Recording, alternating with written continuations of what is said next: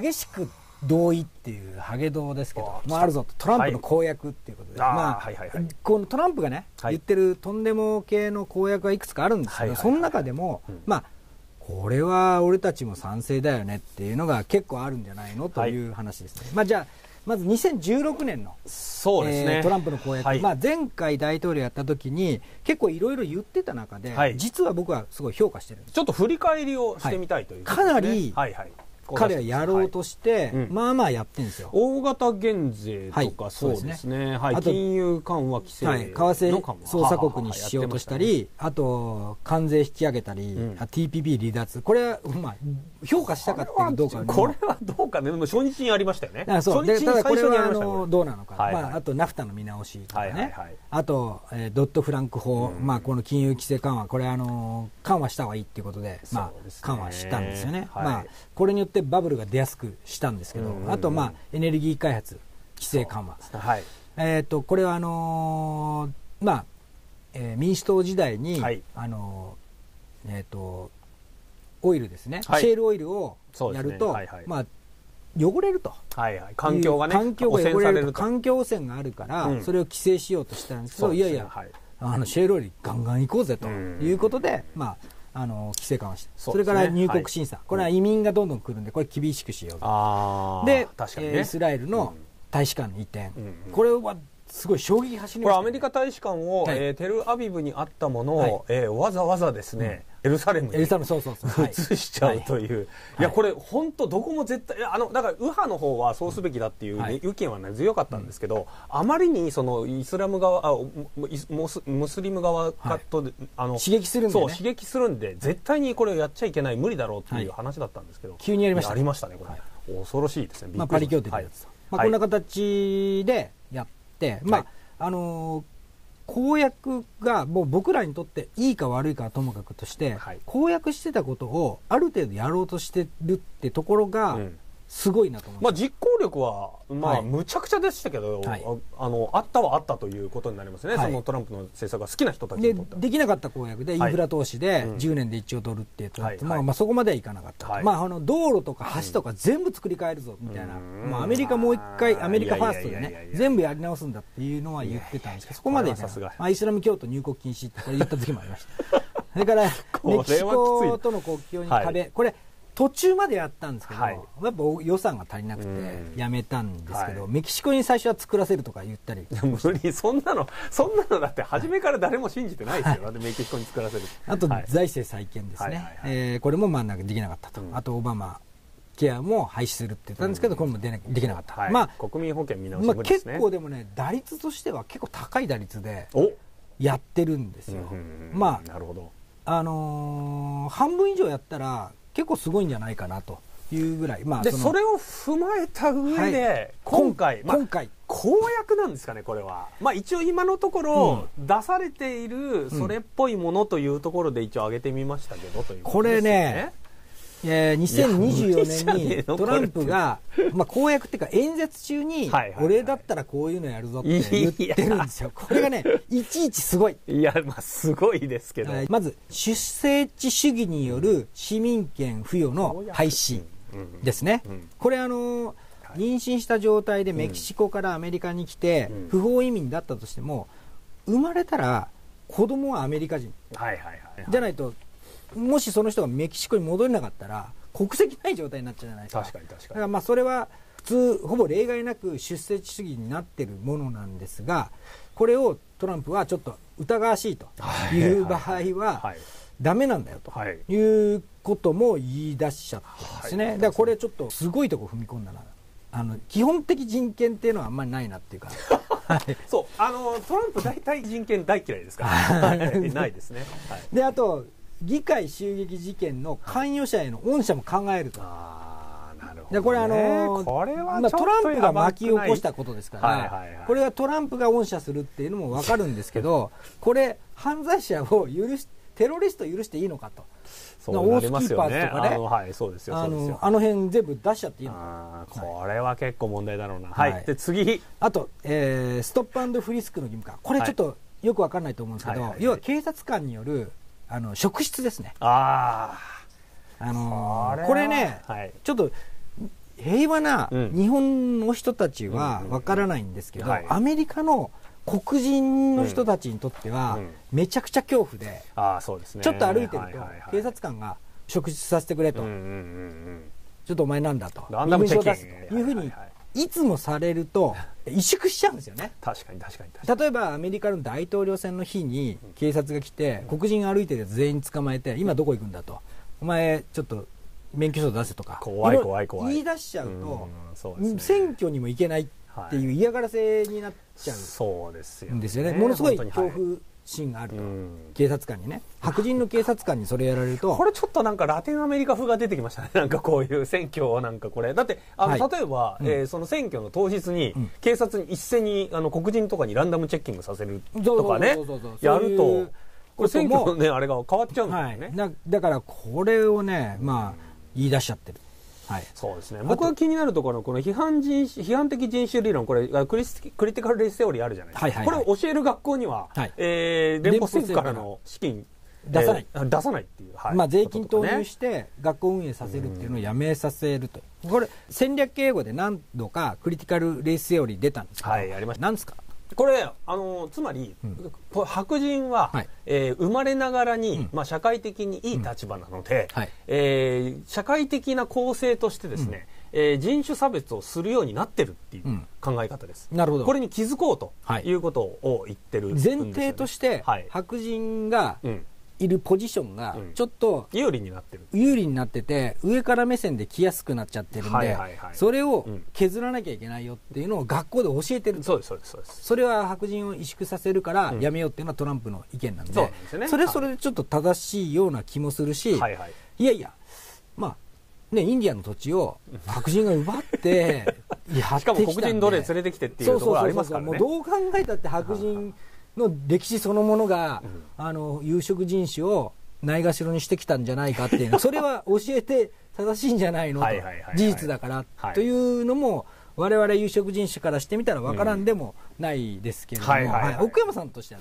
どうですか？いやいや、その通りじゃないですか、これ、あのやっぱりあの普通にリアルにあると思いますよ、うん。結構、学問の世界でも、はい。まあまあ、クリティカルレースっていうわけじゃないんですけど、やっぱ白人のえ教授の人たちが唱える、うん。まあ、アメリカのとかイギリスのとか、うん。そういう白人系の、はい。え英語を母語とした人たちの、うんえー学問の理論が通りやすいってのはやっぱありますよ。なるほどこれははい、でそれが最近なんかインド系の人たちが結構声を上げてですね、はい。それじゃダメだろってことで国際関係論みたいなものも国際的な政治の理論をはい。もう少し、うんアジアシフトというわけじゃないんですけど、うんほら、えー西洋に対する非西洋でいうとすごくねあの白人の人ってすごい反発するんですよ。なるほど。ところがグローバルなセオリーでっていうとですね、はい。なんか最近受けがいいみたいで、うん。ここ5年ぐらいでなんか、うん。その世界の、まあ、う僕なんかのせ世界の国際関係論とかの国際政治の世界は少し変わってきたと確かに。いうことらしいやっぱ日本人の立場からすると、うん。アメリカに寄りすぎないで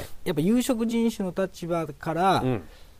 やっていくっていうことも必要かもしれないですね。すね。全然、はい。さすがこのリベアマと言われるだけ違いますよ。それを利用してリベラルリベラル的なところを利用して、はいはい。ちょっと食い込んでいこうと、いはいはいはいそういうこともまあはい。ででできますよね、今できるようにななってきましたよね。はい、あとあのジェンダーファーミングケアの制限っていうのがあるんですけどこれちょっとわ言葉で言うあとまあ分かりづらいんですけどこれはあのはい。未成年のうん。性自認医療ですね、うん。の医師を処罰するはいはいはいはい。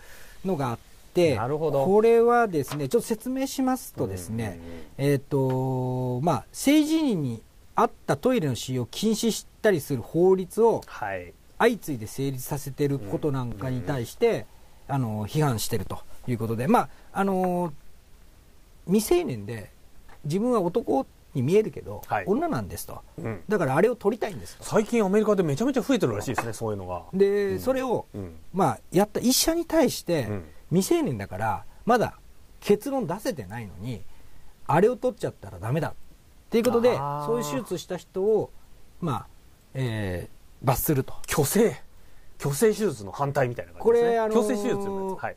であのまあ、虚勢専門家の奥山さんに知聞きますけど、やっぱり知らんがなそんな。いやいやいや。なんすかその虚勢専門家いやいや、あの、これ、後半でやりますけれども、ああ後半でやりますよ。なんで自分虚勢、言われもなき虚勢専門家。虚勢専門。でもすごい問題発言が続きますよすかそれ。今書き込み、虚勢山さんっていうのが出てくるぐらい、えー虚勢については詳しいんで、一過言あるというのを聞いひどいなてありますんで、それは聞きたいんですけど、やっぱり、はいね、あの、若気の至りでね、はい。あの、入れ墨入れちゃったやつとかいるじゃないですか。はいはいはいはい。で、後で後悔した人もいるんはいですけど、はいはいい。ますよいますよ。若気の至りであれを取っちゃってね、はい。ああ、ちょっと取るんじゃなかったなと。いう人もいるから、確かに確かに。うんそのそういうことに、えー加担したね、うん。お医者さんはダメですよというふうなのもトランプが言ってるんあです。非常にまあ宗教的な、宗教右派からのこれは圧力だなというか、まあ、す宗教派が喜びそうなことをやってるなという感じですよね。はい。そうですね。もうついでにもうもう一個お、あの学校規律の見直しってことあ全部言っちゃいますかこれ学校で左派のね、はいうん教育をすごくするところなんかは、うんもうちょっとあの予算出しませんよというふうな。あと最後のやつ、これ大事じゃないですか。はいはいはい日本に直接来ますよね。はい一律関税。はいこれつまり、アメリカに入ってくる外国のものははい、すべて関税10%に全部するっていう。うんはいもう結構むちゃくちゃな感じ。まあ中国に対して60%っていうのも、まあそうですね。に25って言ったり、60って言ったりしてるみたいなんですけど、トランプは。中国に対して60とかやっちゃうと、んウォールマートとかで今売ってるはいグッズ、ほとんど中国製じゃないですか。そうですいや、どうすんすかねっていう話ですよね。はい、そうなんですよ。ターゲットとか、ウォルマートとかで売ってるあの安いものですね。うんあの辺はちょっとやばくなって、インフレがさらに起きちゃうよと。ということですよね。まあ、ただトランプはあのー木を見るに瓶なので、はいどの辺の支持者に受けて、どれだけの票が取れてっていう、その勝敗ラインを見てるとは思うので、まあ、そこでえー決断してはい。適当な数字を言って、最後に調整するという感じなんじゃないかと思いますけどね。まあ、あの公約はまあまあ実現させてるとは言いつつもですね、あのやっぱり状況いざどうなったらかわ分かんないので、はい。でも我々一応こういう形で実行するっていう、ことで心の準備をしていくっていうのは大事なのかなとは思いますけどね。そうですね。はい、シナリオとして。まあ、あの選挙っていうのは、はい。50%超えた方が勝ちじゃないですか、まあ、大統領選で、は。いはい。でもアメリカのその選挙で言えば、えー、と大体民主党が3で、うん。共和党も3で、間の無党派層無党派層が4じゃないですか、うんうん全体で言えば25%ぐらいがうん。MAGA なんですけど、はいはい。その25を取ったがゆえに、うん。最終的に51まで行く可能性もあるっていうシステムもちょっと怖いなと、ここまで偏ったね。その25%の人を喜ばせるために、これだけいろんな公約をしてるわけですよ。それが最終的に2人しかいないもんだから、にはいはいはい。トータルで考えてこっちかなというふうになるにしては、すごい極端だなというふうにはちょっと思えてしまいますけどね。はい、アメリカの大戦略と新フォースターニング。なぜ今この米中10なのかということでありますと、まあ、この新フォースターニング、フォースターニングイズヒアっていう本が出たんですけど、それの解説をねね、させていただいたりする部分もあるんですが、はい。まあ、とにかく、あのー20年ごとに、うん。えー80年、はい。まあ、4回、あのまあ、春夏秋冬があって、はいはいはい。で今ちょうど冬だと。